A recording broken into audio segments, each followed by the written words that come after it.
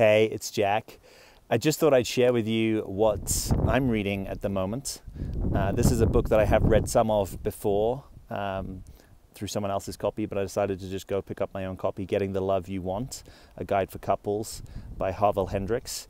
Um, and actually, now uh, Helen LaKelly Hunt, uh, who is his wife, uh, is also acknowledged in this. They've kind of been in the work together, I think, for I think this was first actually published probably over 30 years ago. Four million copies sold. It's definitely a, a bestseller. And uh, you might have heard of Imago Therapy. Um, these guys are the co-creators of Imago Therapy.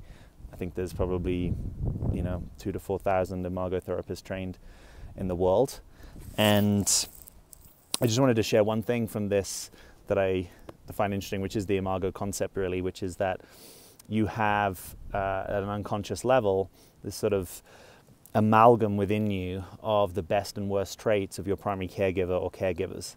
And that often unconsciously, that's what you go seek out in a partner, mostly because of it, it's familiar. And that we are familiarity craving creatures.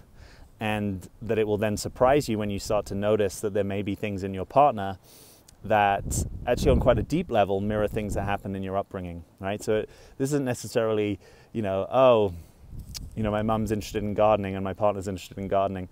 This is a little bit more, you know, how do you get tended to? What happens when you need help? What happens when you need support? Um, what happens when you cry? You know, how does someone orient to you? Do they do they come running to you? Do they tell you to get tough?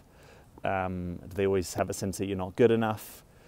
Um, so it can be quite humbling just to open up to that possibility. I know to a lot of you this won't be news, but I just thought I'd share that. And uh, coming into chapter four here, and so far, I'm really enjoying it.